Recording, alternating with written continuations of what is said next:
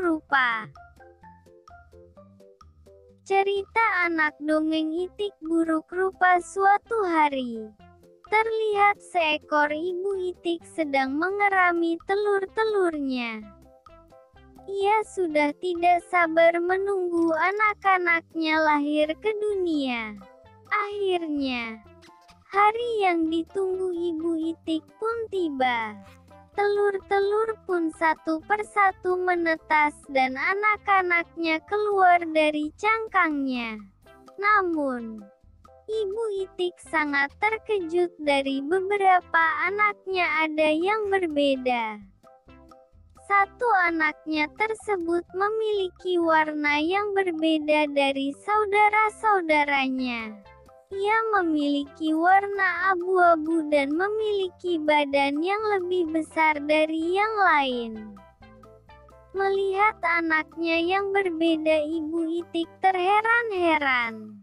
Namun, ia tidak peduli dan menyambut anak-anaknya lahir ke dunia. Ibu Itik langsung mengajak anak-anaknya berenang bersama di danau. Ketika mereka berenang, mereka pun melewati hewan lain yang melihat Ibu Itik dan anak-anaknya. Namun, mereka pun berbisik-bisik, Siapa itu? Dia sangat berbeda dari saudara-saudaranya yang lain. Ia pun sangat jelek, bisik-bisik hewan yang melihat keluarga itik tersebut. Mendengar yang dikatakan hewan-hewan yang lain membuat sang ibu merasa sedih. Namun, ia tidak peduli karena satu anaknya memang berbeda dari yang lain. Tapi, dia tetap anaknya. Semua hewan mengejek itik abu-abu.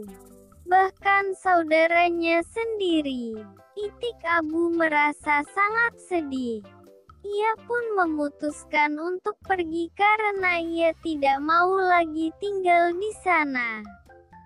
Ia pun berjalan ke sana kemari dan bertemu dengan seorang anjing yang sedang mencari makan. Melihat sang anjing, Itik Abu pun ketakutan karena ia takut dimakan olehnya. Namun, sang anjing malah berlari menjauhi Itik Abu-abu. Melihat anjing yang berlari menjauhinya, ia merasa semakin sedih karena anjing pun takut melihatnya. Ia pun melanjutkan perjalanan. Di tengah perjalanan tersebut ia merasa kelelahan dan tertidur di depan sebuah rumah. Tiba-tiba, datanglah seekor kucing dan ayam datang menghampirinya.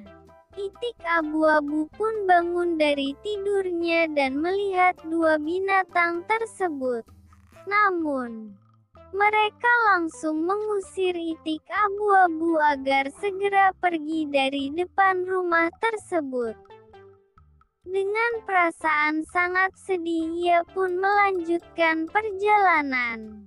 Ia berjalan sangat jauh dan akhirnya ia beristirahat di pinggir sungai. Ia melihat serombongan angsa lewat. Ia pun sangat iri melihat kecantikan angsa-angsa tersebut. Kenapa kamu bersedih? Sapa salah satu angsa yang menghampiri itik abu. Aku sedih karena aku jelek dan tidak bisa seperti kalian. Jawab Itik Abu sedih. Rombongan angsa hanya tertawa. Siapa yang bilang kamu jelek? Kamu sangat cantik seperti kami. Jawab angsa. Rombongan angsa pun mengajak Iti Abu mendekat ke tepi sungai. Itik abu-abu sangat terkejut melihat sosok angsa putih di dalam air. Ia tidak melihat dirinya yang jelek dan ditakuti di dalam air tersebut. Ia heran.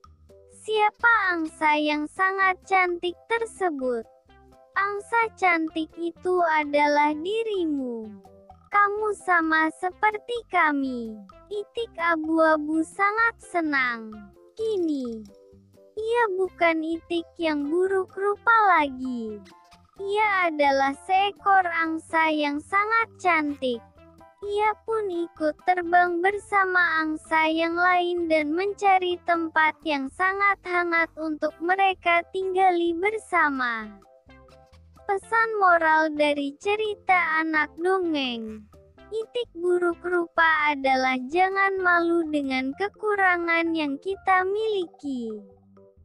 Asalkan kita selalu bersyukur kita akan selalu mendapatkan kebahagiaan.